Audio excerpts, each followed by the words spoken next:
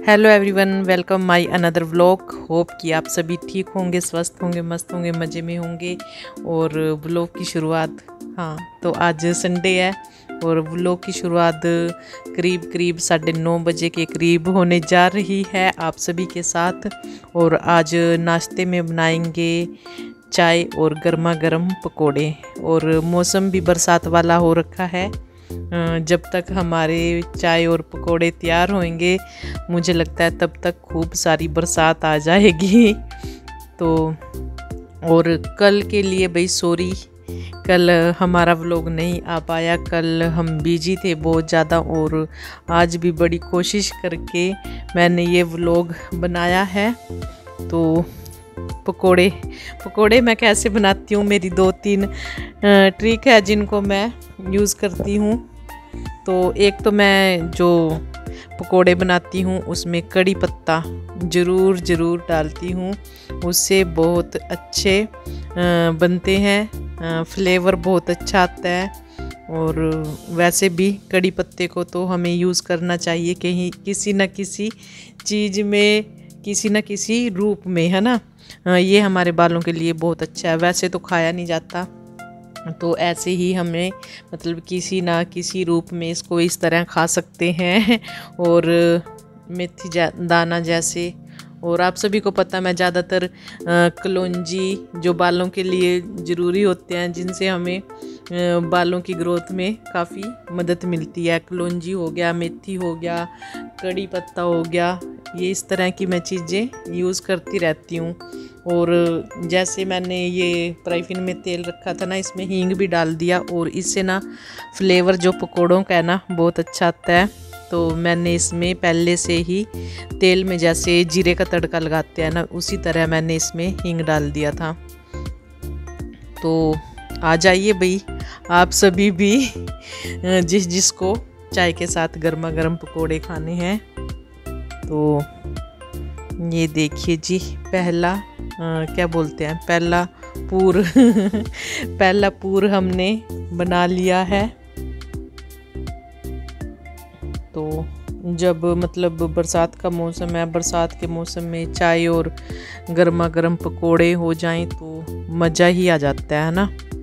तो दोपहर की, दोपहर को देखेंगे। फ़िलहाल हम अभी बस ये नाश्ते का ही इंतज़ाम कर रहे हैं और मुझे थोड़ा सा नमक कम लगा था तो अब मैंने इसमें थोड़ा नमक डाल लिया है। तो मैं बोल रही थी, अभी तो हम फ़िलहाल नाश्ते का इंतज़ाम कर रहे हैं और दोपहर के भोजन में देखते हैं क्या बनाएँगे, लंच में क्या बनेगा। तो हो गए जी हमारे पकौड़े तैयार और चाय डाल लेते हैं गर्म करके। इधर चाय भी बना दी है, अदरक और इलायची वाली। है ना? किस किस को पसंद है अदरक और इलायची वाली चाय? तो इलायची भी मैंने छोटे वाली नहीं डाली, इसमें जो बड़े वाली इलायची होती है ना, वो डाली है। तो डाल लेते हैं भाई चाय कपों में। तो फिर चलते हैं रूम में, आराम से फुर्सत में बैठ के खाएँगे, है ना? तो ईशांत को तो मैंने एक दो बार बीच में दे के भी आ चुकी हूँ। तो वो तो चाय कम ही पीता है, पर चलो पकौड़े के साथ भी चाय ईशांत के नाम की भी लेके चलेंगे, जितनी उसको पीनी होगी पीले का।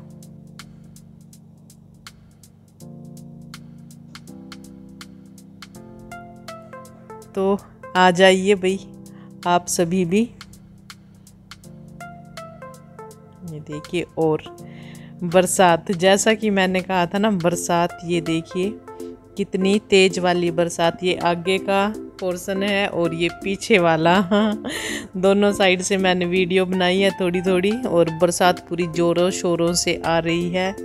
तो चाय पकोड़े खाने के बाद तो किचन की हालत भी सुधार लेते हैं और किचन को भी साफ़ कर लेते हैं, है ना? तो ये काम भी बहुत ज़रूरी है। जैसा कि मैं कहती हूँ किचन साफ़ है तो सारा घर ही साफ़ है। और अगर हमारी सीख साफ़ है तो किचन भी साफ़ है है ना? तो ये थोड़ा सा पीछे लग थे दाग धब्बे तो वो भी उतार दिए और गैस पे ना, वो थोड़ा बेसन वगैरह गिर गया था, वो सूख गया। तो उसको भी करेंगे साफ़, सर्फ के साथ। तो ये देखिए। और ईशांत का हो गया ट्यूशन का टाइम, वो तो चला गया।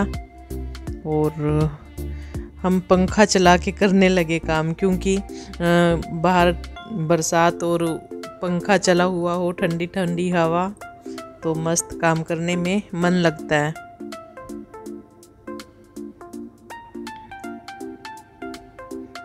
सलफ गैस साफ़ करने के बाद फिर करेंगे बर्तन साफ़।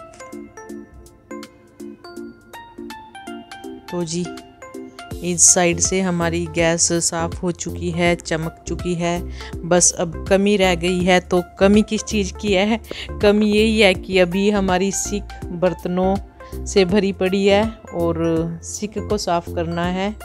बर्तन साफ़ करने के बाद तब हमारी किचन का काम पूरा हो जाएगा। पोचा बाद में लगाएँगे। पहले बस फ़िलहाल यही काम करते हैं, बर्तन वगैरह। इनको एक साइड में करने के बाद हमारी किचन जगमग जगमग चमक जाएगी, है ना? जगमग हो जाएगी। तो बर्तन तो मेरे साफ़ हो चुके हैं।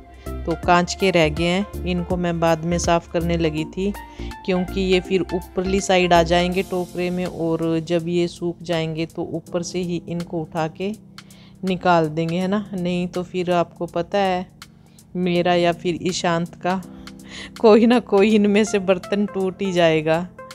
तो इसलिए ये मैंने बाद में साफ़ किए और फिर निकाल देंगे इनको ऊपर से ही ऊपर। और ये लास्ट ये लास्ट है भाई यहाँ पे। सलफ साफ़ हो चुकी है, कपड़ा साफ़ हो चुका है और बस अब सिक की बारी है। तो इसमें भी काहे की देरी करते हैं तो कर देते हैं इसको भी साफ़।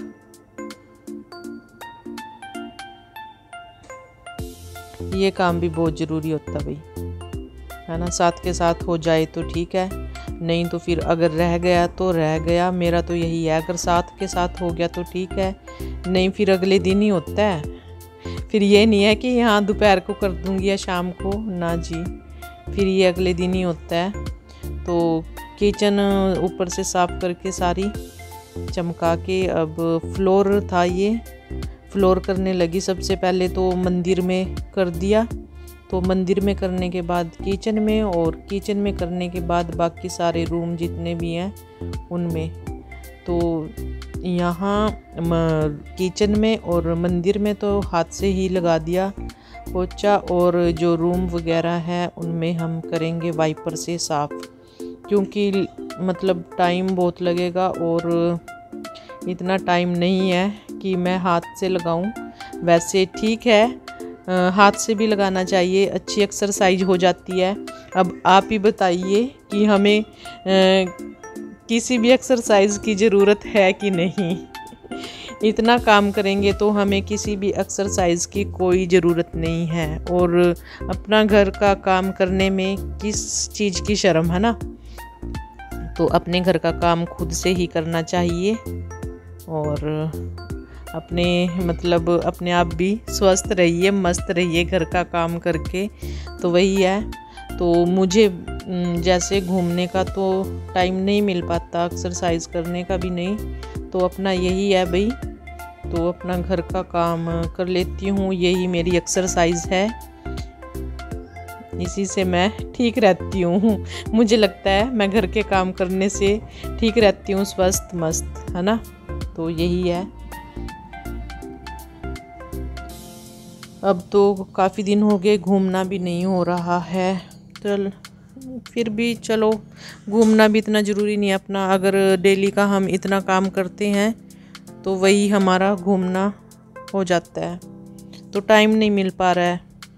और उधर से मतलब मंदिर, किचन और ईशांत वाला रूम तो उसके बाद में यहाँ सोफ़ा एरिया। सोफ़ा एरिया के बाद मतलब दूसरे वाला, जिसे हम अक्सर गेस्ट रूम बोल देते हैं, क्योंकि हम उसमें जाते नहीं कभी कभी जाते हैं। तो हमारा एक ही रूम मतलब जिसमें हम हर टाइम बैठे रहते हैं, आप सभी को पता है। तो उसमें सबसे बाद में जाऊँगी। सबसे पहले मैं यही सोच रही थी कि पहले इधर से ही कर देती हूँ, क्योंकि मुझे फिर पीछे वाली बालकनी में ही जाना है, और आगे की बालकनी रह गई है, उसको मैं सबसे बाद में ही करूँगी अब। जब तक कि ये अंदर से सारे साफ़ हो जाएँगे और पीछे वाली बालकनी वगैरह साफ़ करके फिर ही जाऊँगी आज आगे वाली बालकनी में। तो सोफ़ा उधर से वो भी एरिया साफ़ हो चुका है और अब ये तो खाली पड़ा है, इसमें तो मुझे बहुत ही कम टाइम लगता है। वैसे तो सारे घर ही मतलब खाली खाली से मैंने छोड़ रखे हैं ताकि ऐसे मतलब घूमते फिरते कोई भी सामान आगे ना आए। तो इस तरह से सामान रखा हुआ है। तो यहाँ तो सिर्फ़ मतलब दो ही बार वाइपर घुमाओ और सारी मतलब ये साफ़ हो जाता है यहाँ से। तो ये फ़ायदा होता है, चीज़ें ना भी खेर के रखो, है ना? तो एक्स्ट्रा सामान मैंने रखा भी नहीं है। तो ये हमारा यहाँ से भी ये एरिया साफ़ हो चुका था और ईशांत। मैं तो सोच रही थी कि ईशांत चला गया, पर इसका ना ट्यूशन का टाइम मैडम ने चेंज कर दिया तो शाम को बुलाया है और आज छुट्टी है ना, इसलिए शाम को ही बुला लिया। मैं सोचा था कि छुट्टी वाले दिन शायद मैडम ने जल्दी बुला लिया, पर नहीं। और मुझे इस बात की खबर ही नहीं थी कि ईशांत रूम में ही बैठा है। तो ये वाला रूम इधर से ही मैं बाहर निकल जाऊँगी। ये लास्ट तो नहीं लास्ट अभी दूसरा है है ना? ये वाला करके फिर लास्ट रह जाएगा हमारा बेडरूम उधर वाला।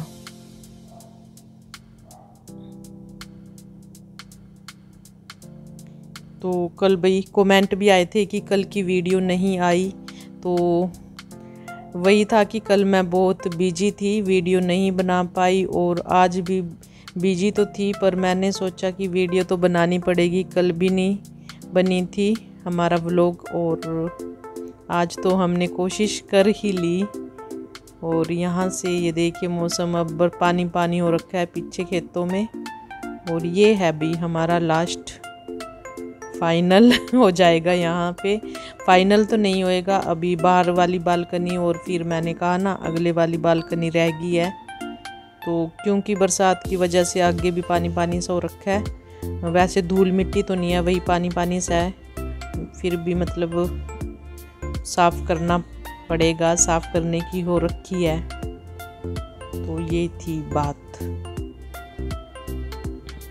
अब मेरे सारे काम हो चुके हैं। फिनिश तो दोपहर का देखेंगे भाई अब क्या फरमाइश करते हैं ईशांत और क्या इनको खाना है, क्या नहीं खाना है।